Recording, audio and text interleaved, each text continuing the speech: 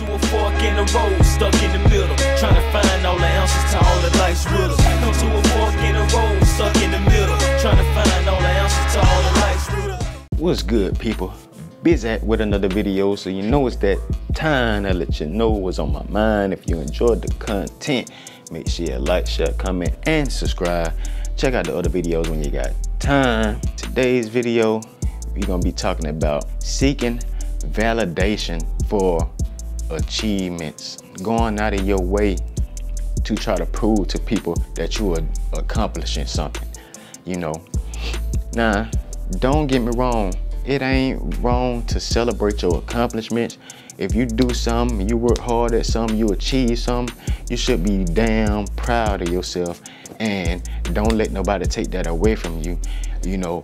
And you should be proud of yourself. You should want to show it off. You should want to let people know that, hey, I accomplished this. You know, I achieved this in my life. I made this change in my life.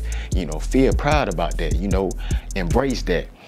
But the problem comes in is when you doing it for the validation of other people versus doing it for self-validation. You know what I'm saying? Now, if you just genuinely feel good about what you're doing in your life, then, you know, that's great, you know, but if you saying, all right, I'm gonna do this just to show everybody I'm gonna be, and I'm finna go around and stun on these niggas, I'm finna do, uh, you know, I'm just finna show off on people, you know what I'm saying? Because they ain't never believed in me, they ain't never, whatever your intentions is behind it, you know what I'm saying? And don't wrong, don't get me wrong, we all been there, you know what I'm saying? We all go there from time to time, you know what I'm saying? Including myself, you know, but it, you just gotta be able to catch it because like I said, you'll never get rid of that ego and all that is ego based, you know what I'm saying? So you had to just catch it and be able to uh, combat that ego and recognize, you know what I'm saying?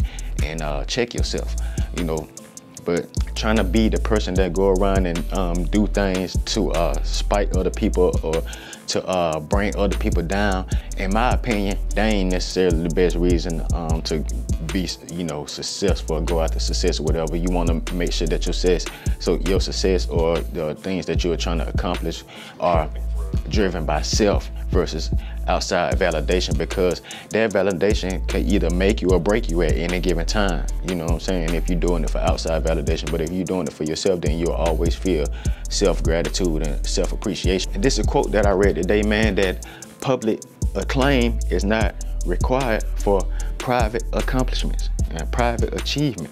You know what I'm saying? Everybody ain't gotta know what you doing. If you know that you did something and you accomplished something that day, you ain't gotta go take it to Instagram, Facebook, all that. You know what I'm saying? But, you know, it, and a lot of times, some of the things that we be achieving and some things that we be doing in our lives, we need to keep to ourselves. Because when we put it out there, then that makes you um, vulnerable um, for people who want to uh, prey on your downfall or who want to uh, see you not doing the things that you are doing in your life and you're making your business available to them, you know, for whatever reason, for them to talk disparagingly about you or for them to um, either try to take things away from you or whatever it may be, you know what I'm saying? You know all the negativity that come with those things. So, you know, public acclaim is not required for private accomplishments. With that being said, that's today's video. Stay on your grind. Don't let nobody stop you. You don't need validation from nobody but yourself. Till next video, gone. Peace, love, out here.